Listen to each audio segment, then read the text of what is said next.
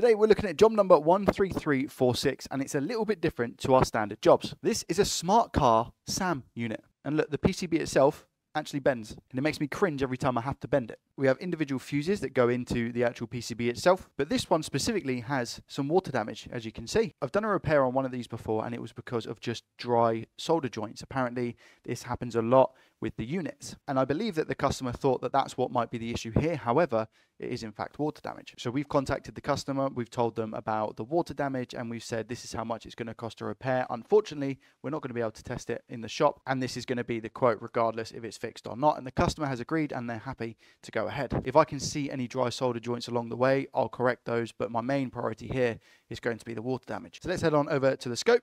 How bad are we actually looking? So here we have that damage. Don't know if it's torn any traces. It, I mean, it looks like it has. Just turn off that light. It's just corroded them away. I believe these thinner green traces here, they're all ground, so we don't necessarily need to worry about this track here. The traces we need to worry about are the thicker ones. We can see that we have a solder joint here, as well as here, here, here, and here. I need to clean up this area so I can get a better view. We also have a bit more water damage, but that's not too bad to be honest. My best friend here is actually going to be continuity mode with the multimeter to make sure that we have a connection going from point A to point B. Let me clear this up. I've taken a mental note of where all of this is. Nice hard brush with some IPA to get all of this water damage off. Look at that, there we go. Perfect. Beautiful. I think we've called it just in time where it's not enough to actually corrode the traces in the joints. So that is good news. Yeah, we can see that these uh, these joints here look a little bit rusty, as you can see. And how is the, the main one, which was really bad, is up here. Again, we just need to go over these jo joints. With that water damage cleaned up, it doesn't look half as bad as what it did, hey? Just try all of that off now. Just scraping away this. Now, obviously, this mask shouldn't come off as easy as what it literally just has, so... And again, this could indicate just weakness and, and corrosion. So I'll put some uh, solder mask over these exposed bits. But these small, thin green traces in between the thicker lines, they don't necessarily matter too much. Like I said, it's all ground.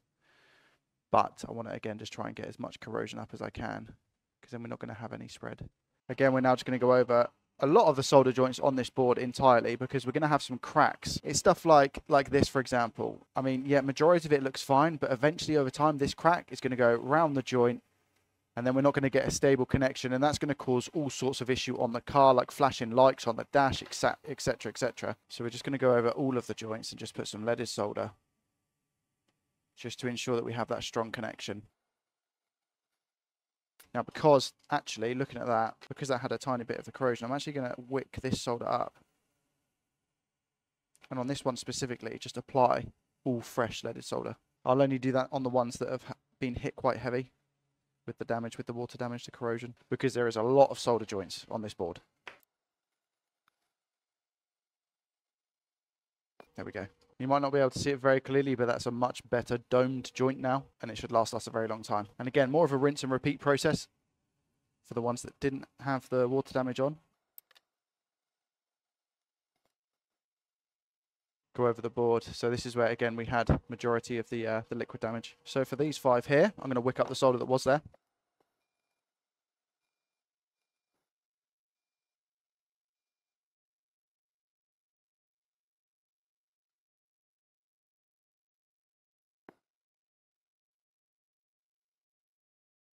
Majority of that cleaned up. And again, just adding that nice fresh solder, much better.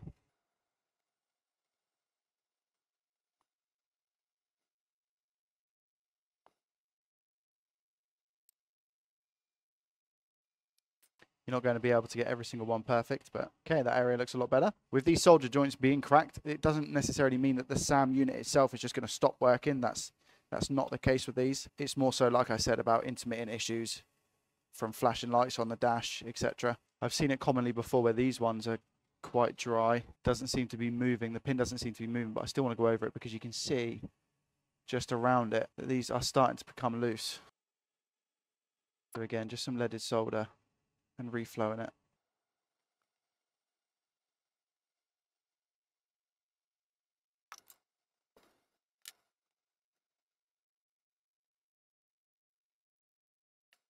There we go. That look better. How are we looking elsewhere? Looking okay.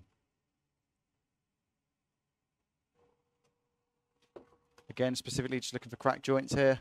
A couple in this area.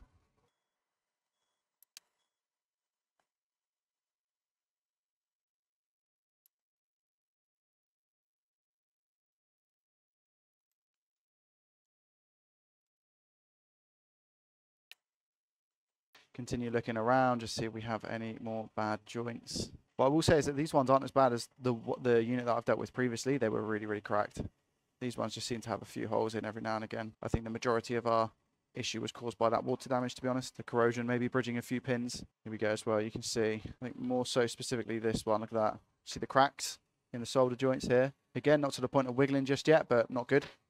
So I'll go all over. Look at these. Whoa, whoa, whoa. This is screaming intermittent issues as well as the fact this is right on the bend. So this is where the PCB bends. I'll just line up this whole area with some flux. Go over it.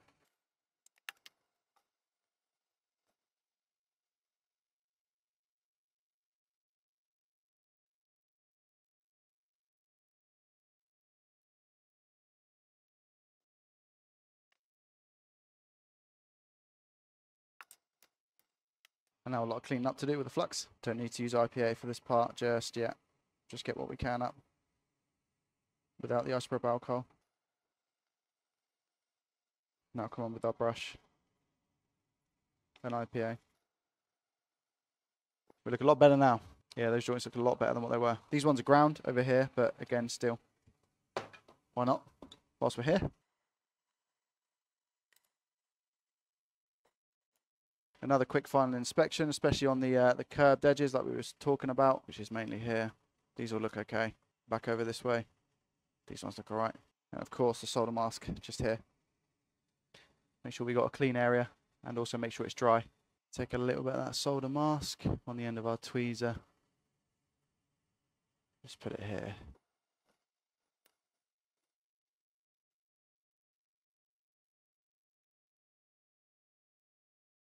There we go, lovely jubbly. Now we just wait for the UV mask to cure and then we can book this out and hopefully have another happy customer. Like I said, I will leave a pinned comment on this video letting you know if this worked or not for the customer. Fingers crossed. Thanks for watching and I'll see you in the next one. Peace.